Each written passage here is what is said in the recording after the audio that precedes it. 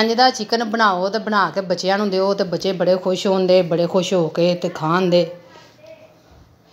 ਬਿਸਮਿਲ੍ਲਾ ਰਹਿਮਾਨ ਰਹੀਮ ਅਸਲਾਮ ਅਲੈਕਮ ਅਸੀਂ ਬੋਲਣ ਡਏ ਹਾਂ ਨੂਰੀ ਦੇ ਕਿਚਨ 'ਚੋਂ ਅਤੇ ਅਸੀਂ ਅੱਜ ਬਣਾਉਣ ਲੱਗੇ ਹਾਂ ਚਿਕਨ ਫਰਾਈ ਬੱਚਿਆਂ ਨੂੰ ਚਿਕਨ ਫਰਾਈ ਇੰਜਦਾ ਕਰਕੇ ਦਿਓ ਕਿ ਜਿਹੜੇ ਬੱਚੇ ਖੁਸ਼ ਹੋ ਜਾਣ ਅਤੇ ਚਿਕਨ ਜਿਹੜਾ ਉਹ ਖਾ ਵੀ ਲੈਣ ਅਤੇ ਬੱਚਿਆਂ ਨੂੰ ਤਾਕਤ ਵੀ ਆ ਜਾਵੇ। ਅਤੇ ਚਿਕਨ ਅਸੀਂ ਫਰਾਈ ਕਰਾਂਗੇ ਅਤੇ ਅਸੀਂ ਸਾਡੇ ਕੋਲ ਬੋਨਲੈਸ ਚਿਕਨ ਦੇ ਦੋ ਪੀਸ ਨੇ ਅਤੇ ਇਹਨਾਂ ਨੂੰ ਅਸੀਂ ਸਾਡੇ ਕੋਲ ਫਰੀਜ਼ ਹੋਏ ਸਨ ਅਤੇ ਇਹਨਾਂ ਨੂੰ ਅਸੀਂ ਲੰਬਾਈ ਦੇ ਵਿੱਚ ਇੱਕ ਇੱਕ ਇੰਚ ਦੇ ਫਾਸਲੇ 'ਤੇ ਰੱਖ ਕੇ ਅਤੇ ਇਹਨਾਂ ਦੀ ਲੰਬੇ ਤਰੀਕੇ ਦੀ ਅਸੀਂ ਕਟਿੰਗ ਜਿਹੜੀ ਇਹ ਕਰ ਲਵਾਂਗੇ।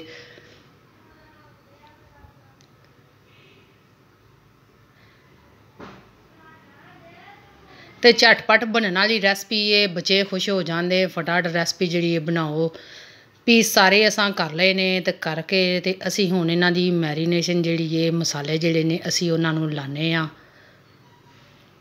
ਇੱਕ ਅਸਾਂ ਬੋਲ ਲੈ ਲਿਆ ਅਤੇ ਬੋਲ ਦੇ ਵਿੱਚ ਅੱਧਾ ਚਮਚ ਅਸਾਂ ਲਿਆ ਜ਼ੀਰਾ ਪਾਊਡਰ ਦਾ, ਅੱਧਾ ਚਮਚ ਅਸਾਂ ਲਿਆ ਪੀਸਿਆ ਸੁੱਕਾ ਧਨੀਆ। ਇਹ ਸਾਡੇ ਘਰ ਦਾ ਆਪਣੇ ਪੀਸੇ ਮਸਾਲੇ ਨੇ, ਅਸੀਂ ਬਾਜ਼ਾਰ ਦੇ ਮਸਾਲੇ ਘੱਟ ਇਸਤੇਮਾਲ ਕਰਨੇ ਆ ਅੱਧਾ ਚਮਚ ਅਸਾਂ ਲਿਆ ਕਾਲੀ ਮਿਰਚ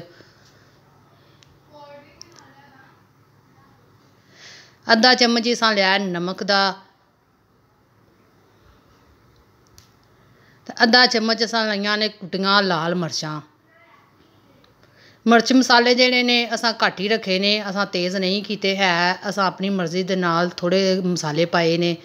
ਅਤੇ ਥੋੜ੍ਹਾ ਸਾਰਾ ਪਾਇਆ ਫੂਡ ਕਲਰ ਫੂਡ ਕਲਰ ਪਾ ਕੇ ਅਤੇ ਮਸਾਲਿਆਂ ਨੂੰ ਅਸੀਂ ਮਿਕਸ ਕਰ ਲਵਾਂਗੇ। ਅਤੇ ਚਿਕਨ ਜਿਹੜਾ ਅਸਾਂ ਪੀਸ ਬਣਾ ਕੇ ਰੱਖੇ ਨੇ, ਅਸੀਂ ਵਿੱਚ ਪਾਉਂਦੇ ਹਾਂ ਅਤੇ ਮਸਾਲੇ ਜਿਹੜੇ ਨੇ ਅਸੀਂ ਉਹਨਾਂ ਨੂੰ ਲਾਉਂਦੇ ਹਾਂ ਮਿਕਸ ਕਰਦੇ ਹਾਂ। ਮਸਾਲੇ ਜਿਹੜੇ ਨੇ ਸਾਰੀਆਂ ਸਾਈਡਾਂ ਤੋਂ ਸਹੀ ਤਰ੍ਹਾਂ ਮਸਾਲੇ ਲਾਇਆ, ਜੇ ਇੱਕ ਮਸਾਲਾ ਜਿਹੜਾ ਅੰਦਰ ਤੱਕ ਲੱਗ ਜਾਵੇ, ਰਚ ਜਾਵੇ।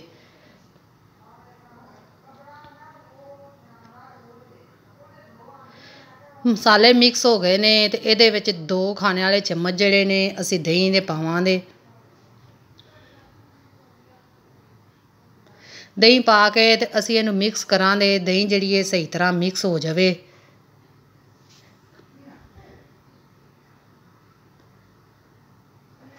ਦਹੀਂ ਮਿਕਸ ਹੋ ਗਈ ਹੈ ਅਤੇ ਸਾਡੇ ਕੋਲ ਸੋਇਆ ਸੌਸ ਹੈ ਸੋਇਆ ਸੌਸ ਦਾ ਇੱਕ ਚਮਚ ਜਿਹੜਾ ਅਸੀਂ ਪਾ ਦੇਵਾਂਗੇ। ਸੋਇਆ ਸੌਸ ਪਾ ਕੇ ਅਤੇ ਇੱਕ ਅੰਡਾ ਅੰਡਾ ਅਸੀਂ ਵਿੱਚ ਪਾ ਦੇਵਾਂਗੇ।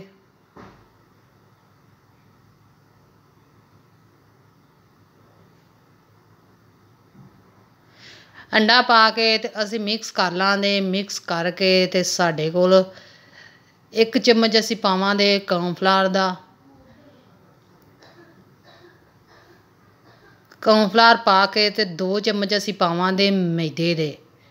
ਮੈਦਾ ਪਾ ਕੇ ਅਤੇ ਅਸੀਂ ਇਹਨੂੰ ਮਿਕਸ ਕਰਾਂਗੇ ਸਹੀ ਤਰ੍ਹਾਂ।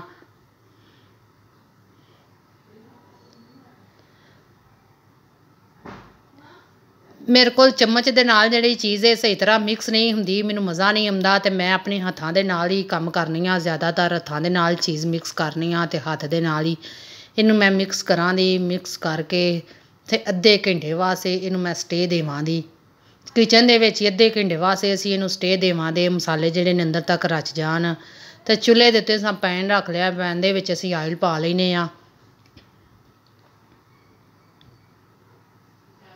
ਆਇਲ ਸਾਡਾ ਅਸੀਂ ਵੇਖਦੇ ਹਾਂ, ਚੈੱਕ ਕਰਦੇ ਹਾਂ, ਗਰਮ ਹੋ ਗਿਆ ਅਤੇ ਅਸੀਂ ਵਿੱਚ ਜਿਹੜਾ ਚਿਕਨ ਹੈ ਅਸੀਂ ਇਹਨੂੰ ਫਰਾਈ ਕਰਨੇ ਆ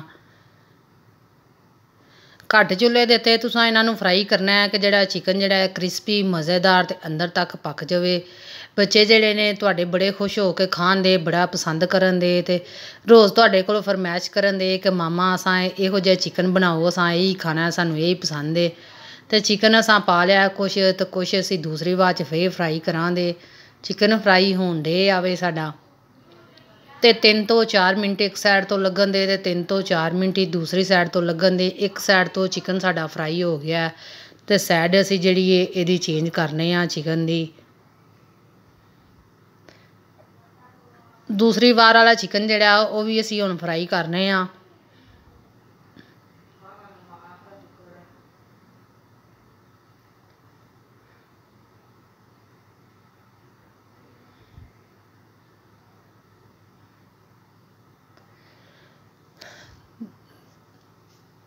ਅਤੇ ਚਿਕਨ ਦੀ ਸਾਈਡ ਜਿਹੜੀ ਹੈ ਅਸੀਂ ਚੇਂਜ ਕਰਨੇ ਆ। ਜਿਹੜਾ ਬਾਕੀ ਦਾ ਚਿਕਨ ਰਹਿ ਗਿਆ ਸੀ ਉਹ ਵੀ ਅਸੀਂ ਫਰਾਈ ਕਰਨੇ ਆ ਪਏ ਅਤੇ ਘੱਟ ਚੁੱਲ੍ਹੇ ਦੇ ਤੇ ਅਸੀਂ ਫਰਾਈ ਕਰਨ ਡਏ ਹਾਂ ਚਿਕਨ ਨੂੰ।